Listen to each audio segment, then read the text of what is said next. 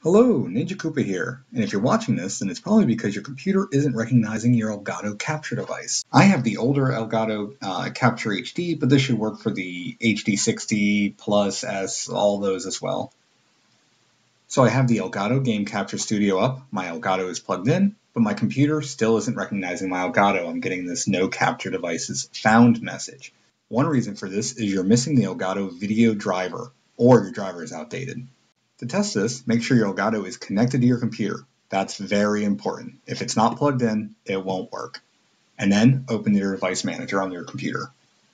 Locate the section for sound, video, and game controllers, then expand it. And the driver you're looking for should say something like game capture or, or Elgato video, something to indicate that it's it's video. Um, if you only see the Elgato sound capture, then this is your problem. And as you see here, I only see the Elgato sound capture. So that means my computer is missing the video driver. Let's go to get it. Next, we're going to go to elgato.com slash downloads, link in the description. And we're going to select the Elgato we have. I have the, let's see, I again, I have the older, where is it, Legacy. I have the older Game Capture HD, um, but it would be the same for if you had the 60, 60S or whatever and then we're going to locate where it says find hardware and drivers here. Okay, and then again, you're going to look for the, oh, brought me down to the bottom.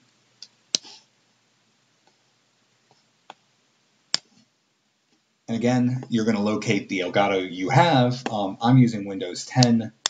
If you're using a Mac, then I, I don't know what your problem could be. Uh, if you're using an older Windows like 7 or 8, then they also have drivers. Just pick whichever one you have for whatever uh, version of Windows you, are using. So again, I have Windows 10 and I have the Elgato Game Capture HD. So we're going to download install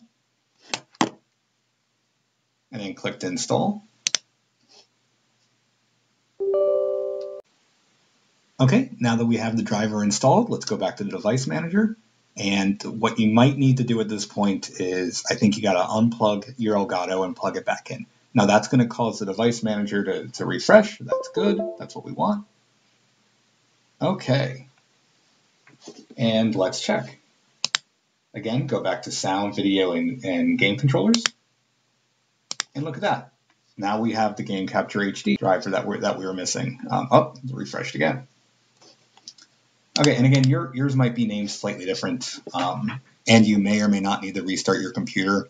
But at this point, we're basically done. Let's make our way back to the uh, the Elgato Capture Studio.